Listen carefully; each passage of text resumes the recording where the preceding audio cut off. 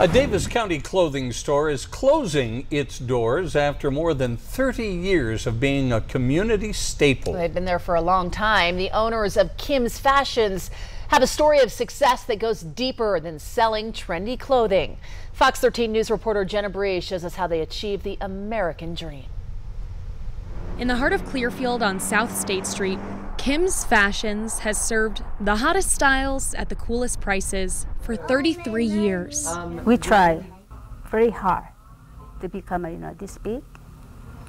So I actually, you know, our dream, our dream came true. But Jeff and Kim Jacob and their lovable dog Coco are closing up their 7,000 square foot shop come July. You know, we're getting old. No, we're not. By time, you know, we tired. The couple met in Kim's home country of South Korea when Jeff, a Price, Utah native, was serving in the Air Force. They fell in love, got married, and eventually moved to Davis County together. I always want to do something. Kim always had big dreams, even when she was little. She says she started observing what people in Utah were wearing. I know about this area style, modest clothes. A lot of people looking for the modest clothes for school. So I catch up that you know their style.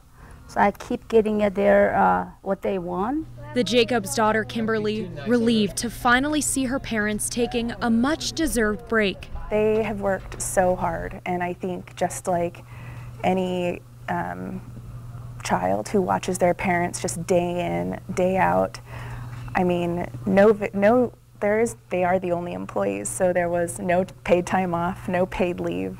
If they wanted to take time off, they had to close the store to do it. The two found their niche in the community, but they wouldn't recommend anyone try to open a clothing store in 2023. A lot of people buying online. Yeah, we got online. hmm So that makes it really slow down.